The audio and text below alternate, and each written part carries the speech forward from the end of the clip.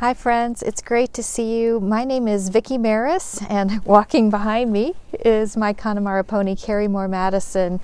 I wanted to broadcast from outside today in memory of the wonderful acts of leadership and teamwork that happened on this date nine years ago. This is January 15th, and this is the date when Captain Sully Sullenberger landed the U.S. Airways Flight 1549 in the Hudson after he and the uh, crew members were flying that flight and it hit birds and they lost both of their engines because of the bird strike.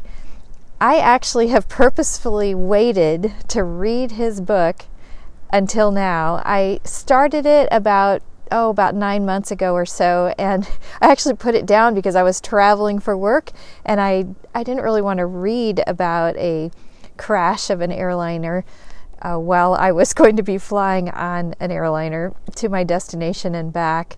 But I have since uh, been reading his book. I picked it up. This is this is the copy of it. This is Sully. I have about one more chapter to go, and I keep I keep stopping and rereading and making some notes or reading sections of it out loud to my husband. It's really a good read.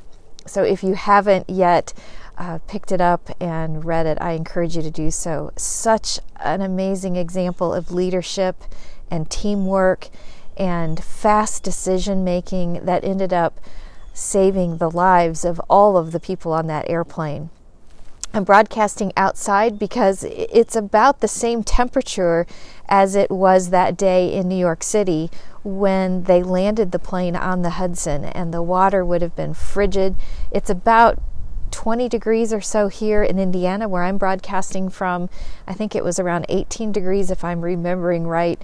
Uh, from what I read, I might be off by a few degrees Fahrenheit, but it was cold.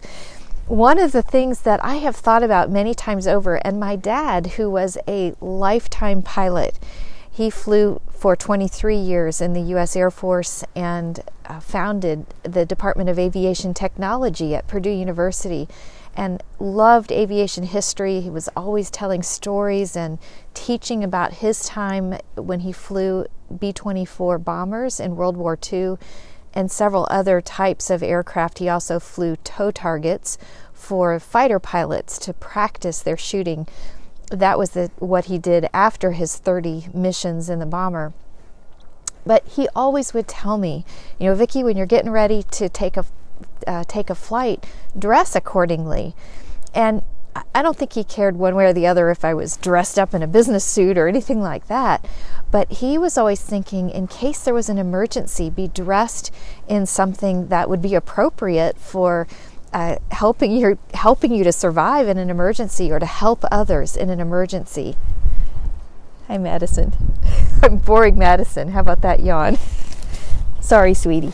I'm sorry. so I, I always think about that, you know, when I'm getting ready for a flight and I wear closed toed shoes and I usually layer my clothing, even if I'm going to someplace really warm, I will dress so that I have layers so that if it gets cold, I can, you know, deal with that kind of weather as well. So I don't know, there's my little bit of advice about uh, what you should think about when you're getting ready to get on an airplane.